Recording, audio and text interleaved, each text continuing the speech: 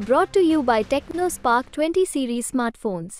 आप किसको अपना टक्कर मांग रहे हैं? जेडी जेडीयू को कि कांग्रेस को? देखिए वो लोग अपने आपस में लड़ते रहे। मैं तो मौजूदा वक्त बिहार और दिल्ली के निज़ाम के ख़िलाफ़ लड़ रहा हूँ। आज़ादी के बाद से लेकर इस वक्त तक तमाम तर दिल्ली और पटने के लोगों ने इस इलाके से वोट भी लिया है और टैक्स की शक्ल में नोट भी लिया है। लेकिन हमारे वोट से इसने सरकारें बनाई हैं और हमारे टैक्स के पैसे से इन लोगों ने दिल्ली दिल्ली और पटने को संवारा है।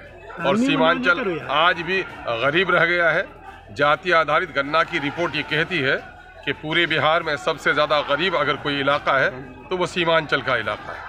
और उसमें भी पूरे बिहार में सबसे ज़्यादा अगर बुरी हालत है तो वो मुसलमानों की है। कि बुनियाद हमारी वोट में शामिल है। और आज हमने 2024 के पार्लियामेंट्री इलेक्शन के लिए बहसीत ये आई एम आई एम के उम्मीदवार के अभी हमने नॉमिनेशन किया है। हम आपके माध्यम से सीमांचल के लोगों से बिलखसूस कहेंगे कि आप मेरे लिए दुआएँ कीजिए। बिहार और पूरे मुल्क में फैले हुए और बिहार मुल्क से बाहर भी जो लोग अपने वतन से रिश्ता रखने वाले हैं, उनसे दुआ की गुजारिश करते हैं किशनगंज पार्लियामानी हलका के तमाम तर लोगों से हम कोर्ट की दरख्वास्त करते हैं। हमारी लड़ाई सीमांचल के पिछड़ेपन की है। हमारी लड़ाई किशनगंज को तरक्की देने की है। हमारी लड़ाई बिहार के मजलूम को आवाज़ देने की है। हमारी लड़ाई महरूम तबक़ात में जो मुस्लिम कम्युनिटी है उसकी अपनी क़्यादत खड़ी करने की है। इसके लिए हम लगातार कोशिश कर रहे हैं। हम उम्मीद कर रहे हैं कि अब की बार किशनगंज की आवाम हमें पार्लियामेंट में जाने की इजाज़त देगी। सर किन मुद्दे पर आप चुनाव लड़ने जा रहे हैं सर? क्या क्या मेरे मुद्दे साफ़ हैं। आज़ादी के बाद से लेकर इस वक्त तक तमाम तर दिल्ली और पटने के लोगों ने इस इलाके से वोट भी लिया है और टैक्स की शक्ल में नोट भी लिया है। लेकिन हमारे वोट से इसने सरकारें बनाई हैं। और हमारे टैक्स के पैसे से इन लोगों ने दिल्ली दिल्ली और पटने को संवारा है। और सीमांचल आज भी गरीब रह गया है। जाति आधारित गन्ना की रिपोर्ट ये कहती है कि पूरे बिहार में सबसे ज़्यादा गरीब अगर कोई इलाका है तो वो सीमांचल का इलाका है। और उसमें भी पूरे बिहार में सबसे ज़्यादा अगर बुरी हालत है तो वो मुसलमानों की है।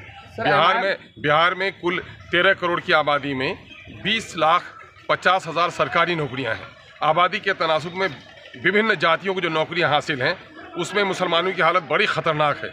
इनको आबादी दो करोड़ इकतीस लाख दो करोड़ इकतीस लाख की आबादी में, इनकी मुलाजमत में हिस्सा तीन लाख अड़सठ हज़ार की होती है। सिर्फ़ इनको एक लाख तिहत्तर हज़ार नौकरी देकर तकरीबन दो लाख नौकरी से महरूम रखा गया है। यही हाल दलितों का भी हुआ है।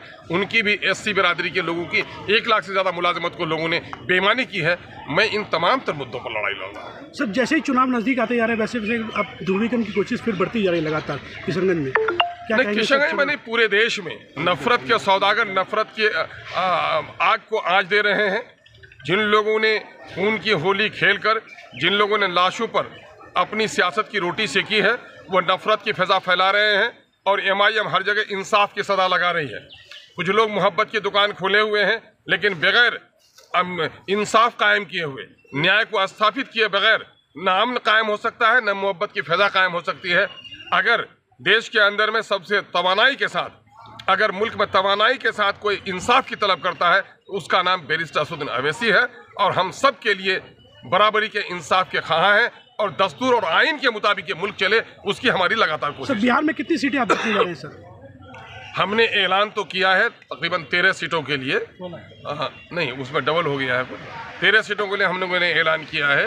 और उसमें से कुछ सीटों को अभी हमारे जो हैदराबाद के हमारे जो ऑब्जर्वर्स आए हैं तो वो तय करेंगे कि हम लोग कितनी सीटों पर लड़ रहे हैं और हम समझते हैं कि जितनी सीटों पर लड़ेंगे यकीन है कि कामयाबी हासिल करने के लिए लड़ेंगे। आप किसको अपना टक्कर मांग रहे हैं जेडी जेडीयू को कि कांग्रेस को? देखिए वो लोग अपने आपस में लड़ते रहें। मैं तो मौजूदा वक्त बिहार और दिल्ली के निज़ाम के ख़िलाफ़ लड़ रहा हूँ। गरीबों मजलूमों दलितों पसमानदों के ख़िलाफ़ जिन लोगों ने हक मारी की उसके ख़िलाफ़ मैं लड़ रहा हूँ। और मुझे जो अतमाद है इस वक्त, जो पूरी फ़िज़ा छन के आ रही है, नौजवानों के जोश और जज्बे हैं, बुज़ुर्गों की दुआएँ हैं, माओ और बहनों का जो अतमाद है, मैं समझता हूँ कि अब की बार मेरी जीत इन अज़ीज़ यकीनी होनी चाहिए।